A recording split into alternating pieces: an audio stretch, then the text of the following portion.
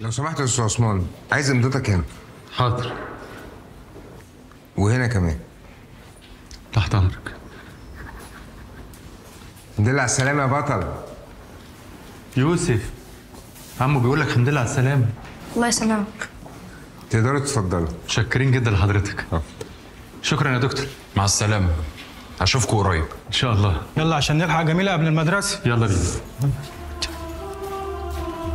يا دكتور. إيه يا بطل؟ عامل إيه؟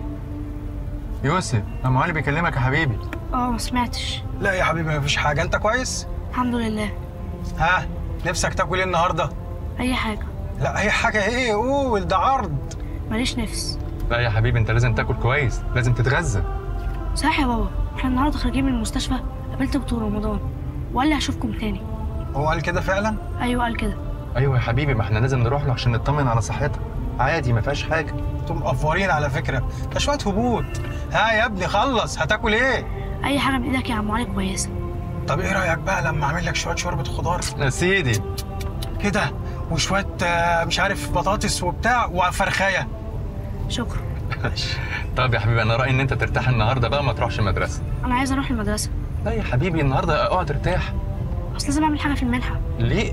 ما انت قلت المنحة ممكن ما تبقاش النهارده. ما في تجهيزات. طب يا حبيبي يبقى مش لازم النهارده تروح. لا بقى أنا هروح المدرسة النهارده عشان لو ما رحتش النهارده هتعب تاني. على فكرة بابا عنده حق. أنت آخر مرة خلاص خلاص يا علي. سيبه يروح. طالما هو عاوز يروح يبقى يروح. شكرا.